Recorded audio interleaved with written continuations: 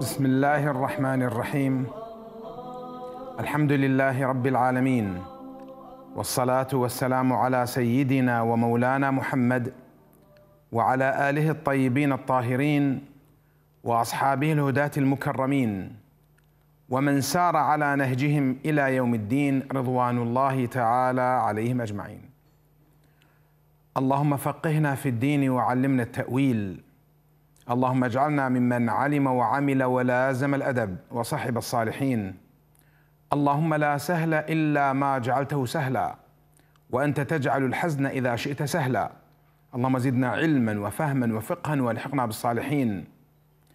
اللهم إن لنا إخوة في غزة يعانون الجوع والعطش ويحيط بهم الموت من كل مكان. فيا رب أطعمهم من جوع وآمنهم من خوف. آوي كل مشرد وأطعم كل جائع واكسو كل عاري وأمن كل خائف وأغني كل محتاج. اللهم وادفع الأذى عن كل من جاءه الأذى وعليك بالصهاينة فإنهم لا يعجزونك. اقتلهم بددا وأحصهم عددا ولا تغادر منهم أحدا. وأرنا فيهم يوما أسود كيوم فرعون وقارون وهامان. وما ذلك عليك بعزيز. اشف صدورنا بهلاكهم يا جبار يا منتقم يا الله. آمين. السلام عليكم ورحمة الله وبركاته. ومرحبا بكم إخواننا الكرام في هذا المجلس الجديد المبارك وهذه الحلقة الجديدة من برنامج على درب النور. أسأل الله تعالى أن يتقبل منا ومنكم صالح الأعمال. كعادتنا نستقبل أسئلتكم الطيبة الكريمة على أرقام الهواتف التي ترونها أسفل الشاشة. كذلك من خلال تعليقاتكم على صفحة قناة الفلوجة الفضائية في موقع الفيسبوك. لنجيب على قدر ما وفقنا الله تعالى عليه ونستمد المدد ممن له المدد سبحانه وتعالى. نبدأ على بركة الله. اتصال الأخ علي من صلاح الدين تفضل. السلام عليكم شيخ. وعليكم السلام ورحمة الله وبركاته. حياكم الله. عندي ثلاث أسئلة. تفضل عيني. آه، السؤال الأول ما حكم دوريات كرة القدم؟ إنه كل فريق يجمع فلوس والفائز من هذا الفائز من هذا الفرق ياخذ جوائز بهذا بهذا الفلوس. يعني بالنسبة لدوري كرة القدم تقصد الحكومي أم يعني تجمعات يعملها الشباب فيما بينهم؟ محلي محلي. محلي. طيب طيب طيب. آه، والسؤال الثاني آه، رفيق صديق لي اشترى ملزمة دراسية. واستنسختها من عنده وجدت إنه دار الطبع كاس غير مبلغ ذنبه يستنسخ. ما حكم هذا؟ طيب. والسؤال الثالث حكم لعبة الورق زين عندك سؤال آخر أخي؟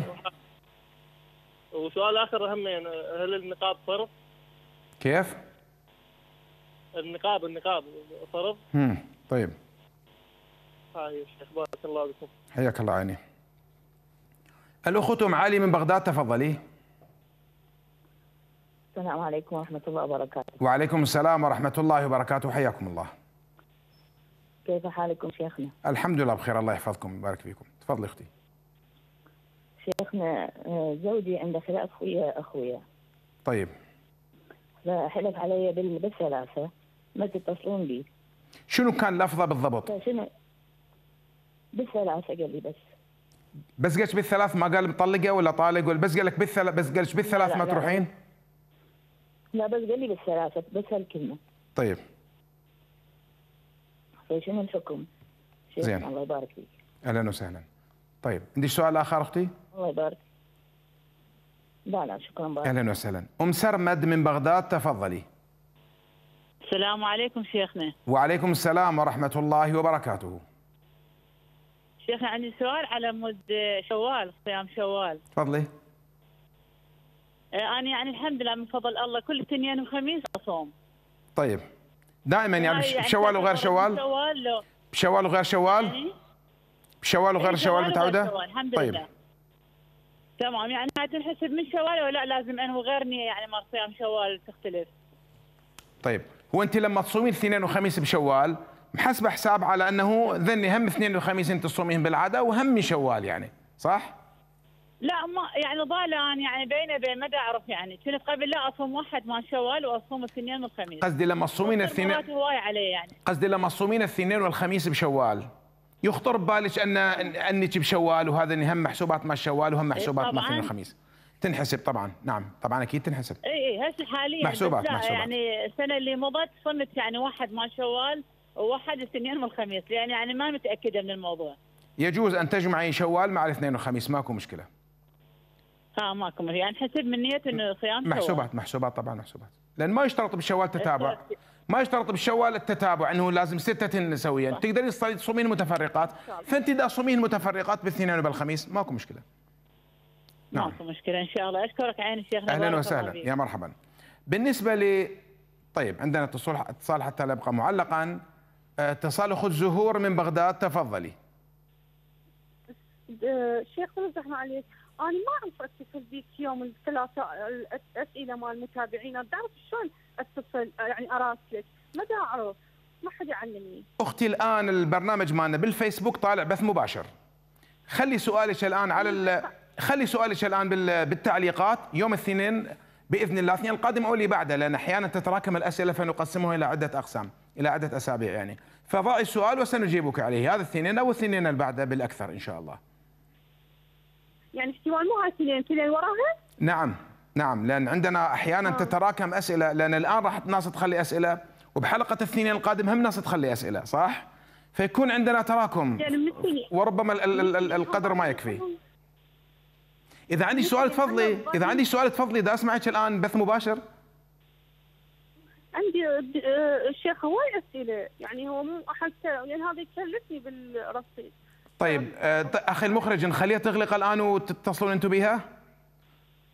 دقيقة خلي خليك وياي خليك وياي ثواني خلي بس ياخذون رقمك وهم يخابروك. زين؟ وحتى ما تصرفي الرصيد. خليك ويانا لا تغلقين. زين؟ خلي ياخذون الرقم الشباب لأن هذا الجهاز أخذتوا ال- الرقم؟ طيب الآن الآن إن شاء الله الشباب يتصلون بك. أختي حتى تاخذي راحتك بال- بالأسئلة. اخواني الكرام الذي يعني اللي آه، صعب عليه الاتصال وربما يأخذ من رصيده. وعلى فكرة بالنسبة للاتصال ببرنامجنا ليس فيه قطع رصيد آه، خاص مو مثل البرامج الأخرى اللي لما تتصل بها يكون الرصيد بها كثير يعني يقطع رصيد أكثر من من المعتاد. لا لا بالنسبة لبرنامجنا رصيد عادي مثل ما تتصل على صاحبك. فإذا كان أحدكم يعني الحالات المادية تختلف من إنسان لآخر فذوي الدخل محدود. من يخابر على الشباب. يقول يا شباب شوي يعني آه، رصيد يكلفني. هم إن شاء الله يأخذون الرقم مباشرة لأن الجهاز مالنا ما يخزن الرقم مو مو هاتف يعني جهاز خاص مال القنوات فبس يكتبون الرقم هم يتصلون بالمقابل حتى ما يكلفه الاتصال خاصة إذا كان عنده أسئلة كثيرة مثل الأخت. عموما أختي أنت بإمكانك أن تضعي الأسئلة وإن كانت كثيرة. ضعيها الآن في التعليقات وبرنامجنا الآن يبث بثا مباشرا في الفيسبوك. فضع التعليقات سنجيب عليها إما في حلقة الاثنين القادم أو الذي بعده إن شاء الله. زين. بالنسبة للأخ الذي سأل عن حكم دوري كرة القدم الذين آه، يضعون دوريات محلية تكون فرق محلية كل فريق يخلي مبلغ من المال. يجمعون المبالغ كلها يشترون هدية للفريق الفائز الأول أو ربما الأول والثاني. ما الحكم؟ قمار. وشنو القمار؟ تخلي فلوس لو تربحهن لو, لو تخسرهن بدون عمل. فهذا مقامرة حرام لا يجوز. الأخ الذي ذكر بأنه اشترى ملزمة أو استنسخ ملزمة صاحبه ملزمة دراسية.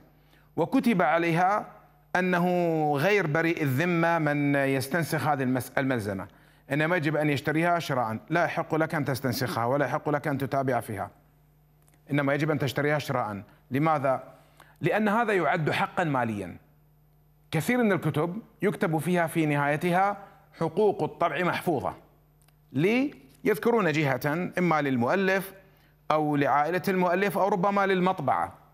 فهذه يحرم استنساخها يحرم استنساخها. هذه مثلها. فلا يحق لك أن تنتفع من الملزمة التي استنسختها لأنها حق مالي لصاحبه. سأل الأخ عن حكم لعبة الورق. طيب بالنسبة للعبة الورق يا أخي تعد من ضمن ألعاب اللهو هنالك الألعاب محرمة مطلقا دون أي قيد أو شرط مثل ألعاب النرد النرد يعني الزار المكعب الذي له ستة وجوه كل وجه يحمل آه، رقم من واحد إلى ستة. هذا حرام. زين شين حرام؟ لا يجوز. طيب حرام. آه، بدون شروط حرام.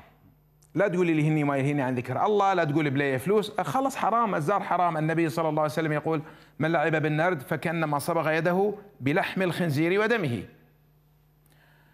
آه، وأما بالنسبة لألعاب اللهو الأخرى التي ليست نرد هنالك ألعاب تعتمد على الحظ مطلقا. هذه تقاس على النرد النرد ما بمهارة.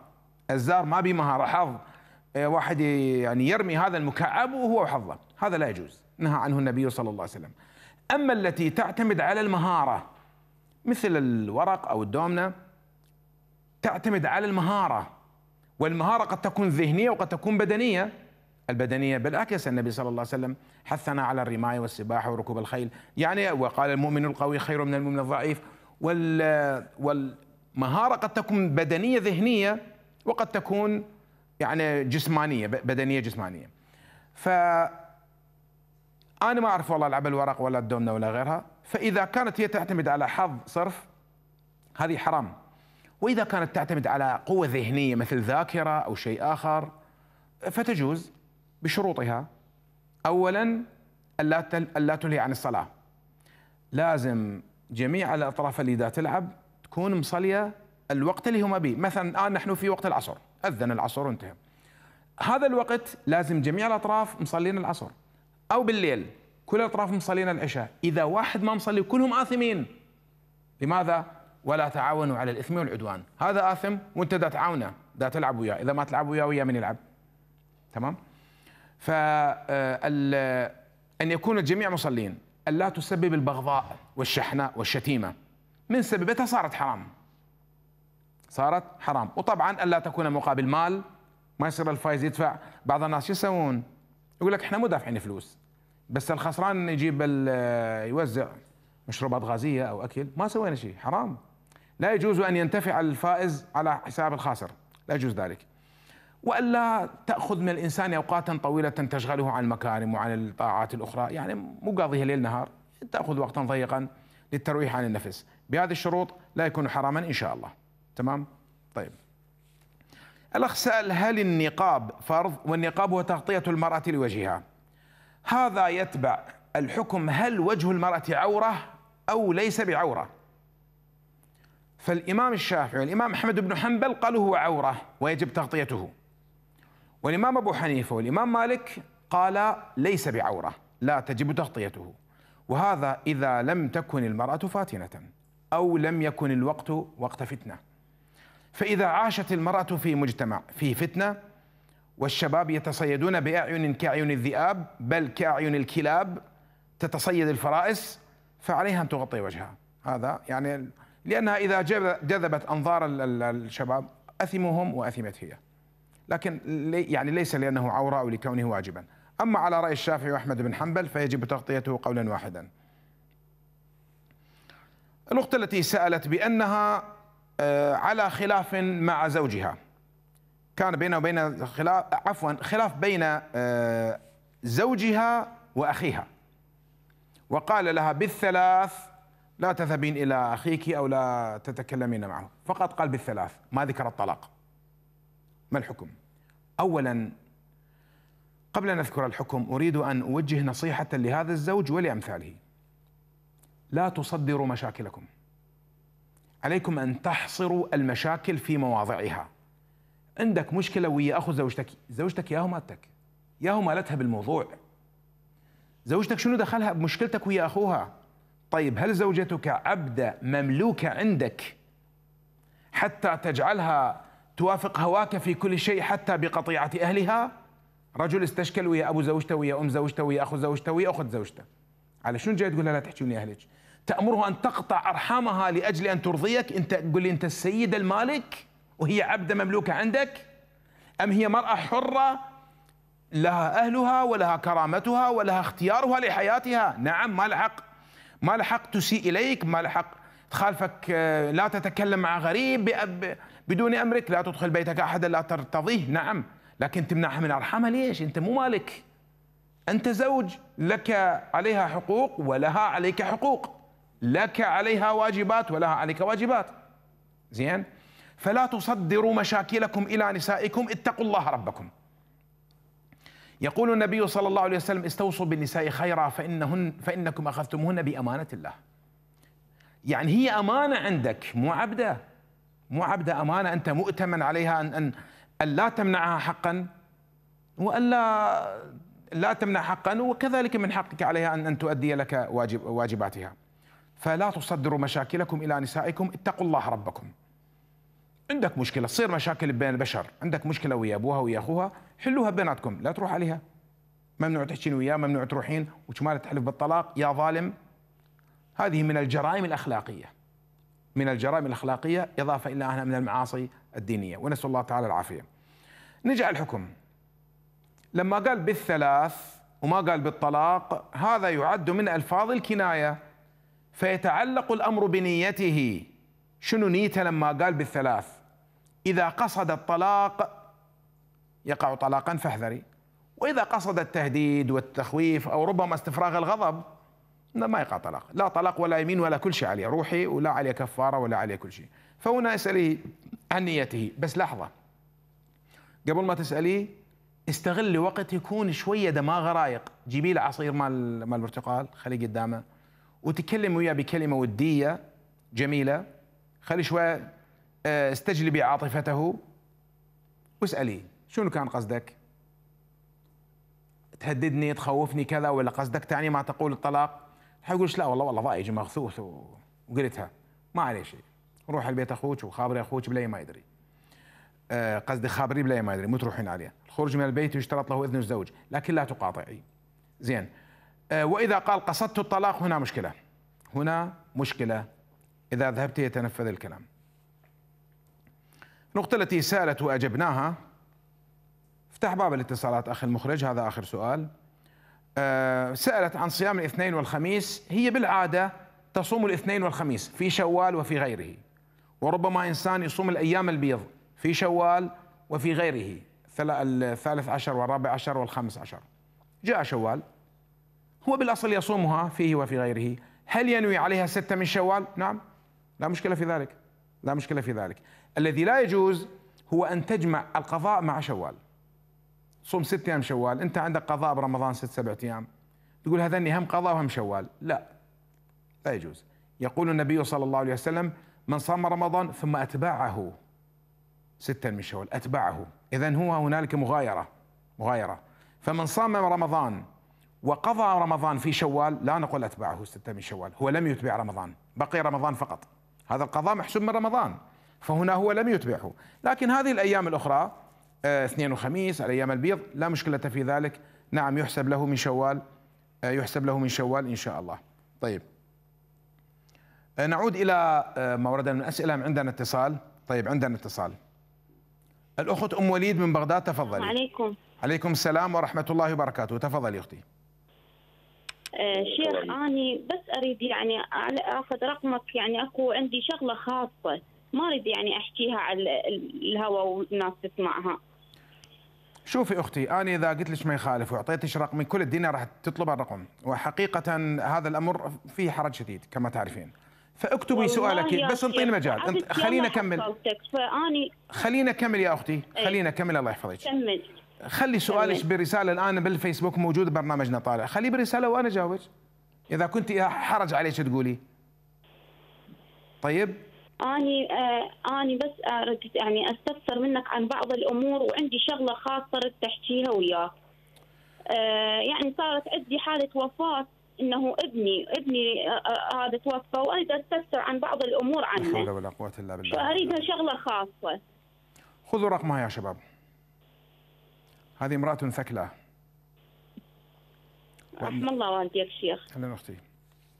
طيب الأخ وليد من صلاح الدين. أنا سأتصل بها لكن برقم البرنامج ليس برقم الخاص يعني برقم البرنامج بعد البرنامج يعني. طيب الأخ وليد من صلاح الدين آه تفضل أخي. السلام عليكم. وعليكم السلام ورحمة الله وبركاته. حياكم الله. تحياتنا لك شيخ. الله محييك يا طيب. أهلا وسهلا. الله يخليك. عندي سؤال يعني إذا مو زحمة. تفضل عيني رحمة إن شاء الله.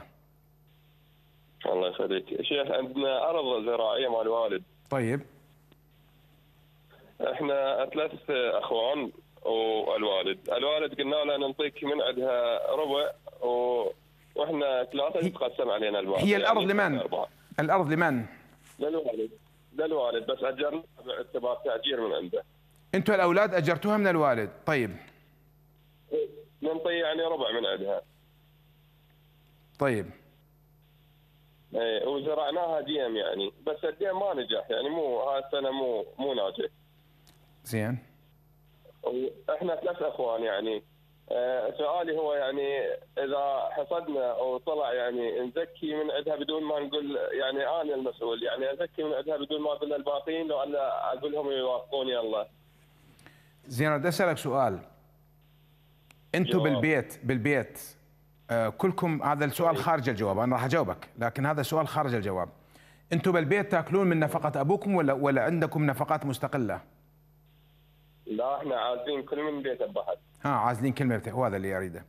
طيب أجاوبك على يعني سؤالك. كل واحد يعني بيت بحد تمام عندك واضح السؤال يعني. سؤالك واضح سؤالك واضح. هذا سؤالي في معزل لأن لو قايل لو قايل لي كنا بيت الوالد ناكل من الوالد كان قلت لكم ليش تأجروها؟ اشتغلوا للوالد اشتغلوا للبيت. لكن إذا كنتم بيوتا مستقلة نعم يحق لكم أن تستأجروا أرض أبيكم. زين أجاوبك على سؤالك. بس عندك سؤال آخر لأن عندنا اتصال معلق. اي نعم اي تفضل. آه، شيخ عندي أخ أخويا توفى استشهد بال 2007 الله يرحمه. يعني الله يتقبل إن شاء الله في الشهداء. آمين آمين إن شاء الله. فشيخ أكثر من مرة يعني يعني يجيني برؤيه مو حلم أبد مو حلم يجيني برؤيه واحكي وياه وأقول له أنت بالحلم بالعلم وأتأكد منه أكثر من مرة. وألح علي يعني بس سؤال. أقول له أنت مو توفيت مو مستشهد ويجيني أكثر من مرة بالرؤيه وآخر شيء اليوم بهاي الليل فاتت. وكان أبويا بال- موجود بالرؤيه وأمي. فهو واقف بالنص. وأقول بس أنا أعتذر عن. أنا اعتذر أنا أعتذر عن تفسير الإحلام أخي العزيز في البرنامج. شيخ بدون زحمة مو حلم هو رؤية ده يعني. حتى لو رؤيا هو هو أنا اقصد أقصد أعتذر عن تفسير الرؤى يعني.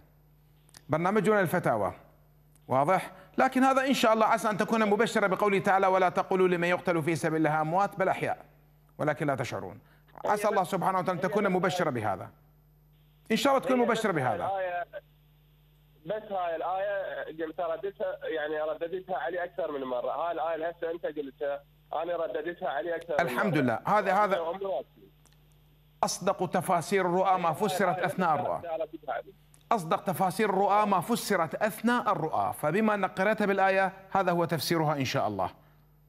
مبشرة مبشرة إن شاء يعني الله. أنا بصوت عالي قلت أكثر من مرة بهاي الآية. يعني أقول له بس. عندنا اتصال معلق أخي الكريم. واضح واضح واضح. إن شاء الله الرؤيا طيبة وبركة وإن شاء الله حي عند الله. ال- أعتذر منك لأن والله عندنا اتصال معلق وهذا كله محسوب من رصيد الأخ. عندك سؤال الله فيك. حياك الله عيني. أبو يوسف من الفلوجة اعذرنا وتفضل. السلام عليكم شيخي ما معذور إن شاء الله. وعليكم السلام ورحمة الله وبركاته. هلا بيك. والله شيخ أنا ما عندي أي سؤال بس حبيت أسلم عليك وأريدك تدعينا بالخير والإصلاح. هذا من أصلك الطيب يا طيب على رأسي على رأسي. ونسأل الله اني أني أحبك في الله والله حبك العظيم الله وحفظك. ونحبك محبة في الله. ويجزيك الله وحفظكم. بالخير. يجزيك الله بالخير على هاي البرنامج وهاي الفتاوى والأحاديث الرائعة وجزاك الله خير. وإن شاء الله في ميزان حسناتك والله يحشرنا إن شاء الله آه، جميعا مع الرسول صلى الله عليه وسلم. اللهم صل على سيدنا محمد. يا رب يا رب. إن شاء الله إخوانا على سرور متقابلين. بارك أيوة. الله فيك. أطلب منك بس الدعاء والإصلاح تدعي لنا بالإصلاح. يدعو بعضنا لبعض إن شاء الله. أدعو لك وأطلب منك الدعاء أيضا. جزاك الله بالف خير حياك الله اشكر اتصالك يا عليكم. العزيز عليكم السلام ورحمة الله وبركاته. أبو تبارك من السليمانية تفضل. ألو السلام عليكم. وعليكم السلام ورحمة الله وبركاته. دكتور نجيب شلونك؟ شو صحتك؟ حياك الله الحمد لله الله يحفظكم عيني. تفضل. الله يحفظك دكتور نجيب. والله دكتورنا عندي سؤال إذا أمكن. الله يخليك. نعم تفضل. السؤال الأول دكتور في في أحد الأيام يعني من كنت آه، أعزب عندي نعم. ولد صديق خيل عزيز سافر. فقام يمشي يعني قال لي راح تنسوني ما أعرف إيش. فيوم من الأيام بالرساله آه، ذكرني فقلت له ندر علي إذا صار عندي ولد أسميه على اسمك. طيب. فما أعرف هذا النذر يعني وافي يعني لازم أسمي نفس الاسم أو اختلاف. عندك سؤال ثاني شيء اخر بالنسبة ثاني سؤال. اي إيه دكتور الله يخليك. نعم. ثاني سؤال ال- بالنسبة للعقيقه يعني انسانيه شوي ما تساعد نعم. صراحة أحكي لك وال- والناس تقول لازم نسوي عقيقه ومن هاي من هاي السؤال. فما أعرف يعني هل واجبة هي أم يعني سنة؟ تمام. راح أعطيك جوابين سريعات وبعدين أفصل لك. اولا انت ما ملزم تسمي نفس نفس نفس الاسم. هذا النذر مو واجب. ثاني شيء العقيقة مو واجبة. تريد تسويها تؤجر ما تسويها ما تؤثم. التفاصيل عندما يوصل لك السراء لكن عندنا اتصال معلق. عندك سؤال آخر؟ تسلم لي دكتور الله يبارك فيك. الله يسلمك. يسلمك يا طيب. أبو جمال من أربيل تفضل. أبو جمال. انقطع الاتصال مع أبو جمال للأسف. حاول ت- تتصل مرة أخرى. الأخ الذي ذكر بأنه هو وإخوته يعني عازلون في السكن عن أبيهم. توجد أرض زراعية لأبيهم. استأجروها ولأبيهم ربع الوارد. يجوز ذلك؟ يجوز. نعم. يجوز الاجاره على النسب عند الإمام أحمد وبه نفتي. فيجوز أن تستأجروا ارضا مقابل نسبة من ال من من ريعها مقابل نسبة من أرباحها. يسأل يقول هل أزكي دون إذنهم؟ نعم. نعم لأن لأن الخلطاء يزكون زكاة الواحد. يعني أنتم مو مأجرين كل من وصل من القاع هذا لك الجهة اليمنى والأمامية والخلفية إنما هو كله مجموع يعني. فالخلطاء يزكون زكاة الواحد. نعم أخرج الز- أخرج الزكاة دون إذنهم. هي إيش قد الزكاة؟ إذا كانت ديم 10% إذا كانت ديم 10% وإذا كانت آه، بالواسطة يعني تنفقون اموالا على سقيها فهي نصف العشر يعني 5% نعم أخرج الزكاة ثم بعد ذلك قسموا الباقي فيما بينكم. ربع الوالد والثلاثة أرباع بحسب أسهمكم منها. الأخ الذي سأل بأن صديقه مسافر وذات مرة أرسل له رسالة تذكره فهنا الأخ السائل ثمن له وفاءه. ثمن له وفاءه. انه ذكرتني ودزيت له رساله فقال نذر علي إذا يجيني ولد أسميه على اسمك. هل هو واجب؟ لا ليس واجبا. النذر يا إخوة من نذر على طاعة فهي واجبة. مثل قال نذر أصلي نذر أصوم نذر أتصدق نذر أذبح خروف ووزع للفقراء. هذا واجب. يجب أن يؤديه إذا تحقق الشيء الذي نذر له. أي اولا. ثانيا النذر الحرام. إنسان نذر على معصية قال أسوي نذر أسوي حفلة.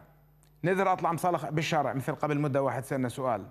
هذه معاصي هذا لا ينعقد. باطل. حرام يفعله. ومنهم من نذر على مباح. شيء لا حرام ولا حلال. نذر أكل الأكلة الفلانية. أو نذر أروح مشي من هذا المكان لهذا المكان. أو نذر أسمي ابني على اسم فلان. هذه مباحات لا هي حرام ولا هي طاعة. إن شئت أن تفعله وإن شئت أن لا تفعله. لست اثما لست اثما. جاءت امرأة إلى النبي صلى الله عليه وسلم فقالت يا رسول الله نذرت أن أحج ماشية. لاحظوا هنا النذر مركب من شغلتين. اولا حج الحج طاعة. ثاني شيء مشي. والمشي شنو؟ مباح. مو مو في الطاعة المشي. فهنا النبي صلى الله عليه وسلم بين لها بأن الحج واجب بس المشي مو واجب. ماذا قال لها؟ قال إن الله غني عن إتعابك فحجي راكبة. يعني الله مو بحال يتعبك والله بحاله تعب مالك تروحين مشي حجي راكبة. حجي راكبة. طيب. مثل ما إنسان نذر يذبح ذبيحة بفلان مكان اذبحها ببيتك. الذبيحة وجبت لأنه راح لحم راح ينتفعون منه الفقراء فهي صدقة. لكن ذاك المكان شنو فرق عن مكانك؟ فاذبح ببيتك ما حاجة تروح ذاك المكان. فهنا بالنسبة لك لا يجب عليك أن تسمي على اسم صاحبك. تريد تسميه من باب الوفاء وكذا سمي لكن إذا ما سميته لا ما تأثم. ذكر بأن حالته ضعيفة الأخ. آه ف يعني قالوا له العقيقة واجبة. لازم تسوي عقيقة. لا أخي مو واجبة. العقيقة سنة وليست واجبة. فإذا آه، ذبحت فأنت مأجور وإذا لم تذبح لا شيء عليك. ويمكن أن تؤجلها فيما بعد إلى حين الميسرة. هي من السنة أن تكون في اليوم السابع. فإن لم يذبح ففي اليوم الرابع عشر ثم في اليوم الحادي والعشرين. لكن إذا لم تذبح يمكن أن تؤجلها فيما بعد. يمكن. وإذا أردت أن آه، يعني إذا أردت أن أن، آه، لا تذبح تماما. لا لا تأثم. لا تأثم ليس عليك مشكلة إن شاء الله. نعم. طيب هنا أخ يسأل يقول آه أنا أعمل سائق في سيارة آه، كبيرة وأحمل الحنطة من الفلاحين وأقف في الدور على السايلو وأخذ أجرة من الفلاحين وأتفق معهم. على أنني سأقف في الدور مدة معينة مقابل أجرة كذا. وإذا تأخر الدور فأن فإني أضع زيادة على الأجرة في كل يوم مقدارا معينا من المال. أقول له في كل يوم آه، أضيف زيادة خمسين ألف دينار بسبب أني سأتعب وسأضع وقودا إضافا إضافيا للسيارة وس يعني أنفق المال الكثير على آه، وقوفي بسبب الوقود والطعام وما أشبه ذلك. هل يجوز ذلك؟ آه، طبعا وكتبها باللهجة العامية فأنا اضطررت أن أقرأها بالفصحى. نعم نعم يجوز ذلك ولا مشكلة إن شاء الله. أنت حددت مدة أجرة معينة وأنت بعرفك الدور إيش قد إيش قد تلزم سرة ثلاث أيام صح؟ تأخذ منه أجرة معينة. بعدين تقول له كل يوم ترى أخذ منك خمسين ألف. ما ال خمسين ألف؟ وقود لأن السيارة راح تبقى مشتغلة وتصرف وقود. وتاكل وتشرب وتعبان وتنام بال... تنام بال... بالسرة خلينا نقول هل تأخذ عليها أجر؟ نعم تلك أجرة مستقلة. أنت الأجرة مالتك تدري بيك ثلاث أيام خلينا نقول النظام الأغلبي. بعدين باقي الأيام الأخرى تحتاج إلى أجرة، المهم أن تعين أجرة، أن تعين أجرة معينة، يجوز ذلك ولا مشكلة إن شاء الله. طيب آه نأخذ الآن فاصلا آه ثم نرجع إليكم بعد ذلك إن شاء الله. نستغل الفاصل بالاستغفار وبذكر الله والله جليس من ذكره.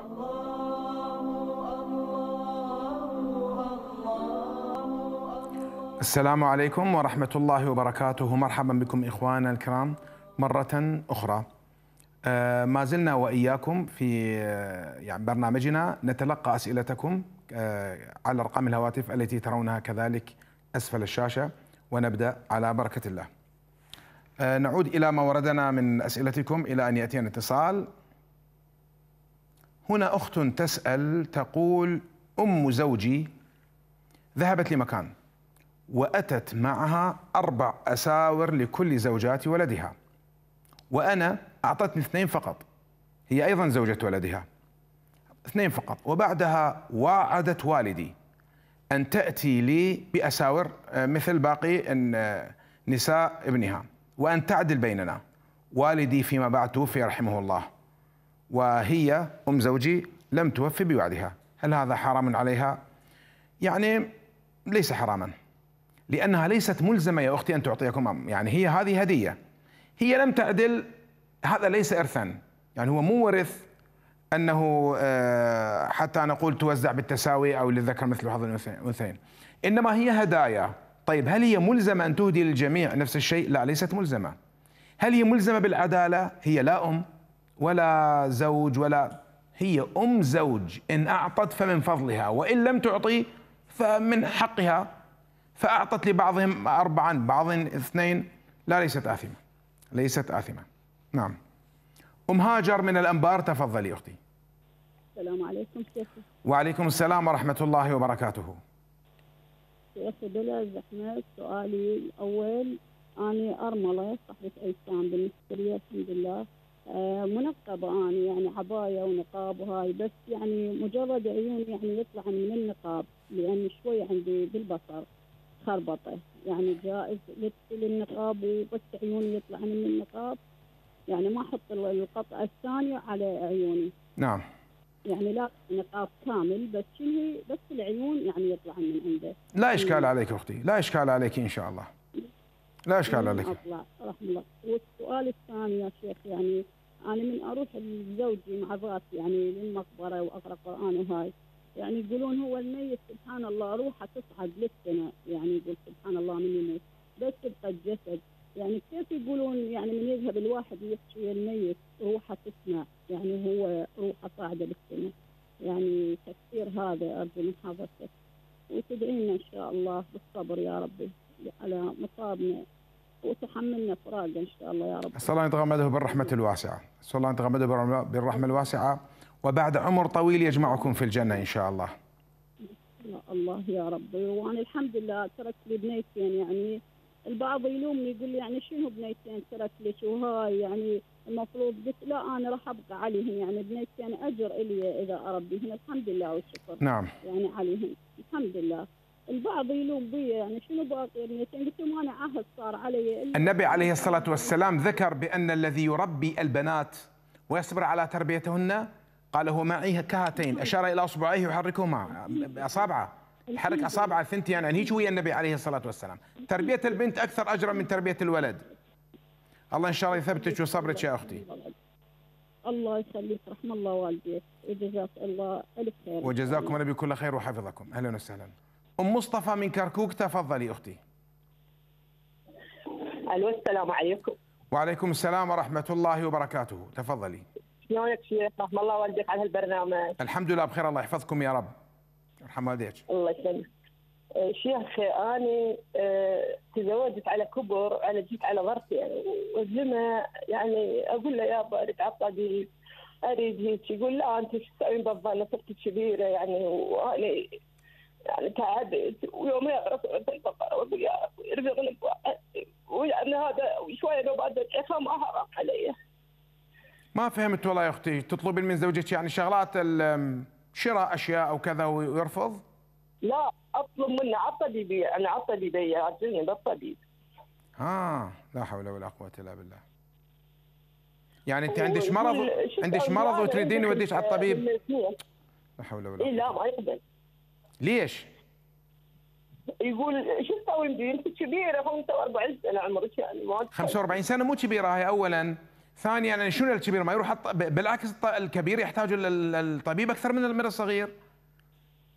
ثم أنت مو كبيرة 45 سنة يا أختي. يعني وهو عنده بشار الله يعطينا 20 يعني وادعي عليه خلا حرام علي لا حول ولا قوة إلا بالله. والله يا جماعة اللي مو قدها لا يتزوج. اللي مو قدها لا يتزوج ويورط بنات العالم. اللي مو قد الحياة الزوجية ومصاريف الحياة الزوجية والله حرامات وا- واحد طيب أهلك ما يتكلمون وياه ما تقدر تكلمين إخوانك شيء والله دكتور أنا ما أريد أسوي مشاكل وما أريد عنده ضرائر ويستفن بي ما أريد أروح ويزعل وأقول. بس مو يا أختي أحيانا أحيانا المرأة هي تضيع حقها بيدها. أحيانا المرأة تضيع حقها بيدها من وراء يا قال فلان أخاف تحكي وقال لا أنا أخاف تحكي. وإذا حكن شيخ أنا يوم يقرأ سورة البقرة ساعه إلا ربع اخلص بس ادعي خما حرام علي هذا يعني ما ما أقرأ وما أقول حرام بس أرجع أسألك. تسمعين الإجابة إن شاء الله. عندك سؤال آخر لا حول ولا قوة إلا بالله العلي العظيم. رحم الله والديك رحم الله والديك. يا أهلا وسهلا. طيب الأخت التي ذكرت بأنها أرملة صاحبة أيتام عندها آه، يتيمتان. توفي زوجها وترك لها يت- يتيمتين. منقبة، هل يجوز؟ يجوز نعم النقاب أن تظهر المرأة عينيها فقط لكن عليها الا تهتم بمسألة العينين، بعض النساء منقبة تظهر عينيها فقط لكنها تهتم بمسألة الرموش والكحل ومدري إيش وبذلك تفتن أكثر حتى من غير المنقبة. فمجرد ظهور العينين بلا هذه الزينة لا مشكلة فيها إن شاء الله. طيب آه وبالنسبة لقراءة القرآن في المقبرة ما حكمها؟ يعني جائز ثبت أن عبد الله بن عمر رضي الله تعالى عنه آه أوصى بأن تقرأ فواتح البقرة وخواتيمها عند قبره. وعبد الله بن عمر صحابي. لذلك قال الإمام النووي رحمه الله في في شرحه على صحيح مسلم ورد حديث أن النبي صلى الله عليه وسلم مر بقبرين قال إن في هذين القبرين لرجلين يعذبان. أما أحدهما آه، قال وما يعذبان بكبير بلى إنه كبير. أما أحدهما فكان لا يتنزه من بوله. وأما الآخر فكان يمشي بالنميمة بين الناس. ثم أتى بجريد ورق أخضر وضعه على القبر قال هما تستغفران لهما ما لم تيبسا. فقال إذا كان استغفار أو تسبيح تسبيح ال ال ال هذه ال- ال- الورق الأخضر ينفع الميت فكيف بقراءة القرآن؟ لذلك قال الإمام النووي رحمه الله يستحب قراءة القرآن على القبر وعلى الأقل هو جائز. يعني إذا لا نقول مستحب ولا نقول حرام طبعا. قراءة القرآن على القبور جائزة وقد أوصى عبد الله بن عمر وأوصى بعض المهاجرين من الصحابة الذين زكاهم الله تعالى في القرآن الكريم كانوا يقرؤون القرآن على القبور فلا مشكلة في هذا إن شاء الله. طيب وقالت نحن نسمع بأن الروح تصعد إلى السماء. فكيف يسمع هو؟ الروح تصعد إلى السماء لكن ترجع. تحملها الملائكة إلى السماء وما تمر بسماء إلا وصلى عليها مقربوها بالنسبة لأرواح المؤمنين ثم ترجع إلى القبر. بل ذكر الإمام ابن القيم رحمه الله في كتاب الروح. عنده كتاب اسمه الروح. يقول إذا بالنسبة للأرواح الناجية الأرواح الناجية إنسان نجا بعد الحساب وكذا يقول إذا زاره أهله تخرج الروح وتجلس قرب القبر. يعني مو فقط تسمع إنما ترى. فهذا ممكن. نعم. لا ليس فيها مشكلة. تصعد إلى السماء لكن تنزل بعد ذلك. طيب ترك لها ابنتين. كما قلت لك أختي أن النبي صلى الله عليه وسلم بين في من يرزق البنات ويصبر على تربيتهن ويحسن تربيتهن. ولو كانت بنتا واحدة أنه هكذا مع النبي صلى الله عليه وسلم في الجنة. الحديث في صحيح مسلم. مع النبي صلى الله عليه وسلم هكذا. طيب آه، فأسأل الله تعالى أن يرحم زوجك وأن يقر عينك بابنتيك. الأخت التي تزوجت تقول تزوجت بكبر عمرها 45 سنة. مو كبيرة. يعني مو مجاملة لها لكن مو كل كبيرة مراه وسطى آه، تزوجت آه، وزوجها يرفض أن يذهب بها إلى الطبيب. تحتاج الطبيب الطبيبة وزوجها يرفض أن يذهب بها. يابا ليش أنت كبيرة. يعني والله عاب هالعذر وبله. خلينا نحكي بهاي العبارة. أنت جبتها من بيت أبوها من بيت أخوتها. لو مخليها ترى أهلها يودوها على الطبيب. هي بحالك بحال سقفك بحال بحال أكلك وشربك هي عدة ترى كلها موجودة ببيت أبوها. بس هاي سنة الحياة جت القسمة عبالها عبالها زلمة وتزوجت. الرجل إذا لم يكن أهلا لمصاريف الحياة الزوجية لا يورط بنات الناس. حرام عليكم يا رجال. والله أحيانا هنالك كيد عند الرجال أكثر من كيد النساء. وكيد الرجال في القرآن أقوى من كيد النساء. لا يقوم يتشاطر الله يقول إن كيدكن عظيم. هاي العبارة من الذي قالها؟ زوج زليخة رجل كافر. إنه من كيدكن قال لزليخة إنه من كيدكن إن كيدكن عظيم. لما شاف القميص مشقوق من الخلف. بينما يعقوب نبي عليه السلام وكلامه حق. ماذا قال ليوسف؟ لا تقصص رؤياك على إخوتك فيكيدوا لك كيدا. كيد الرجال على لسان نبي وكيد النساء على لسان رجل كافر. فلا تت... حرام عليكم تتشاطرون على النسوان. تطلع نفسك حاتم الطائي. لما لما آه تمشي عليهم وتدق الباب عليهم ده تبين كريم وكل شيء تريدين أجيب الشيء وحاضر علي عيني وعلى رأسي. ثالث تتزوجها على الطبيب ما توديها حرام عليك. هاي المرأة أمانة عندك. أمانة عندك. تعرف منه خلاها أمانة عندك؟ سيدنا محمد صلى الله عليه وسلم. ماذا قال في خطبة الوداع؟ قال استوصوا بالنساء خيرا فإنكم أخذتموهن بأمانة الله. أمانة من الله عندك. وبشهادة سيدنا محمد عليه الصلاة والسلام. فمن لم يؤدي للمرأة حقها فقد خان الله تعالى ورسوله صلى الله عليه وسلم في الأمانة. فديروا بالكم. هي الآن وصلت إلى حد تسأل تقرأ سورة البقرة وتدعي عليها حلال ولا حرام؟ ومو كان ما تدعين عليه ادعي الله أن يسخي قلبه. أنت تدعين عليه راح تفاقمين المشكلة عليك؟ زين؟ لكن سورة البقرة وقراءة القرآن نعم من المواضع التي يستجاب بعدها القرآن. النبي صلى الله عليه وسلم يقول اقرأوا القرآن واسألوا الله به. فاقرأ القرآن واسأل الله بالقرآن أن يصلح حاله. فكم من إنسان كان سيئا فانصلح كان بخيلا فصار سخيا. كثير بشر يعني قلوب العباد بين اصبعين من أصابع الرحمن يقلبها كيف يشاء. فاسأل الله سبحانه وتعالى يا مقلب القلوب اقلب قلب زوجتي قلب زوجي من البخل إلى الكرم. من الغلظة إلى الرقة من العسر إلى اليسر. ادعي الله سبحانه وتعالى هكذا. ما سوى ذلك مو تدعين عليه بالموت وبالمرض وبالشلل وبال وبل وبعدم الرزق. فقط إذا وجدت منه الظلم فقولي حسبي الله ونعم الوكيل. وهذا أعظم الأدعية لأنك جعلت الملف من الأرض إلى السماء حولته وجعلت أمرك بيد الله. والله أقدر أن يأخذ حقك منك. أقدر منك أن يأخذ لك الحق. فاكتفي بقول حسبي الله ونعم الوكيل. لكن ادع الله تعالى لزوجك ان أن يرقق قلبه وان وأن يسخيه. طيب. هنا أيضا عندنا آه، سؤال. هل يجوز تفريش الأسنان عند الصيام؟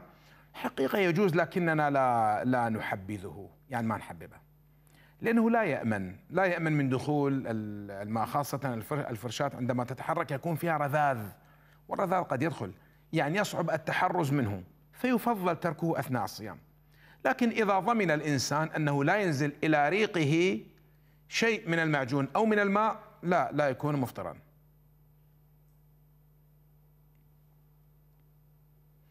أخت تسأل تقول أنا مطلوبة أياما من شهر رمضان وكنت مصابة بمرض كورونا وقد دفعت الكفارة. بعدها نسيت أن أقضي. وفاتت الأيام والسنين هذه السنة صار عندي ضغط وبداية سكر لكنني صمت والحمد لله.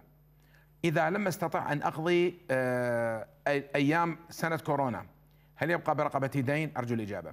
أولا أختي أنت لما آه، صار عندك مرض مؤقت تقول دفعت الكفارة. لا من قال لك تجب عليك الكفارة؟ الذي يفطر بسبب مرض مؤقت عليه القضاء ليس الكفارة ليس عليك ولا ولا دينار. فقط تقضين. فبالنسبة للكفارة هذه دفعتيها اعتبرت صدقة. لا تعتبر كفارة. كان يجب عليك القضاء فقط. زين. إذا تلك لا تعتبر كفارة. تعتبر صدقة من الصدقات. الآن أصبت بمرض. أصبت بمرض ضغط وسكر. بمرضين وكلاهما قد يؤذيه الصوم. إذا وجدت الصيام القضاء صعبا عليك فعليك الفدية. الآن فرضك الفدية. الفدية تقريبا ألف ونص عن اليوم الواحد. تدفعينها. تلك الكفارة لم تجزئ لأنك دفعتيها في وقت كنت غير مريضة كنت قادرة على الصيام. جاك مرض مؤقت كورونا مرض مؤقت مو مرض مزمن راح منك. كان المفروض تصومين يا أختي. على أي حال فاتت السنوات ونسيتي القضاء. الآن إذا كان هذا المرض آه، لا تستطيعين بسببه الصيام عليك الفدية. ادفعي ألف, ألف ربع عن كل يوم. طيب.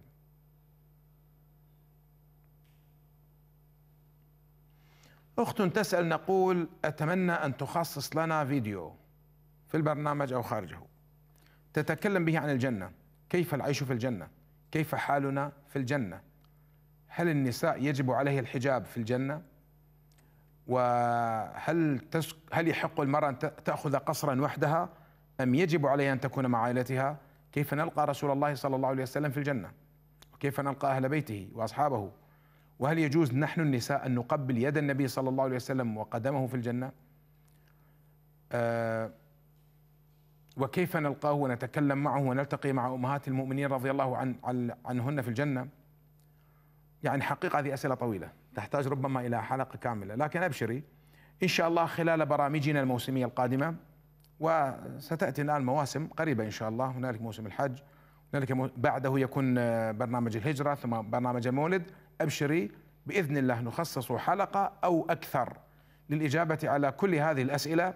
نعم لأن هذه الأسئلة تحتاج موضوعا طويلا. موضوع يعني عيش الإنسان في الجنة والأمور الأخرى التي ذكرتها الحجاب والانفراد بقصر آه، مستقل. ورؤية النبي صلى الله عليه وسلم أسأل الله تعالى لنا ولكم رضاه والجنة.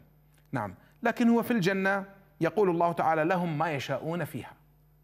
أنت اذهبي إلى الجنة ثم اطلبي ما تشاء ما تشاء من قصر وقصور لك وحدك. اذهبي إلى الجنة لا يوجد شيء عليك حرام. تمام؟ لا يوجد شيء حرام. يعني لا ولا يجب عليك لا يوجد واجب. يعني يجب عليك أن ترتدي الحجاب؟ لا ليس واجبا. تعيشين مع عائلتك مع زوجك مع أبنائك طبعا طبعا. لكن هل يحق لك أن تكون يكون لك قصر مثلا خاص بك مع خدمك من الحور؟ طبعا أيضا يكون لك ذلك. طيب هنا ختاما آه، أخ يسأل يقول أو أخت تسأل تقول أنا طالبة في الصف الثاني والحمد لله ملتزم ملتزمة. عندي صديقة تمشي معي لا تصلي ولا تصوم. وأنا أمشي دعوت قلت أسأل الله تعالى أن يمنعني من المشي معها. لكن أجبرت ومشيت معها وأنا خائفه من ربي لأن أخاف آه، أنها أن هذا معصية وأنا صائمه شوال. طيب آه، فقلت أصوم ثلاث أيام لأني دعوت الله ان لا أمشي معه وم- ومشيت. لا لا تجب عليك الكفارة أختي. أنت لم تقسم يمينا. أنت دعوت الله فلم تستجب الدعوة. يا رب إن شاء الله ما أمشي وياها. ومشيت وياها. هل هذا كف... حنث يمين؟ لا أنت ما قلتي والله ما أمشي وياها. لو حلفت يمين ومشيتي عليك كفارة. لكن دعوت الله تعالى. ليس عليك كفارة. ولا يؤثر على صيامك لشوال. أنت أنت بدلا من أن تدعي أن لا تمشي معها. ادعي الله أن أن يصلحها وابقي امشي معها. ما تصلي ولا تصوم قول يا رب اهديها للصيام والصلاة. ليش تقول يا رب ابعدني عنها؟ وعندئذ لعل الله سبحانه وتعالى يستجيب لك فتكوني سببا لهدايتها. ثم أنت ادعيها إلى الصلاة وإلى الصيام. و- وإذا اهتدت فلك أجر كل صلاة وصيام تصليها وتصومه. نعم لك أجر بقدرها لأن النبي صلى الله عليه وسلم يقول الدال على الخير كفاعله من غير أن ينقص من أجر الفاعل شيء. وتقبل الله تعالى منا ومنكم. انتهى وقت البرنامج. أسأل الله سبحانه وتعالى أن يجمعنا وإياكم في دار النعيم. آمين. صلى الله وسلم وبارك على سيدنا محمد وعلى آله وصحبه أجمعين. طبتم بخير ودمتم بعافية. والسلام عليكم ورحمة الله وبركاته.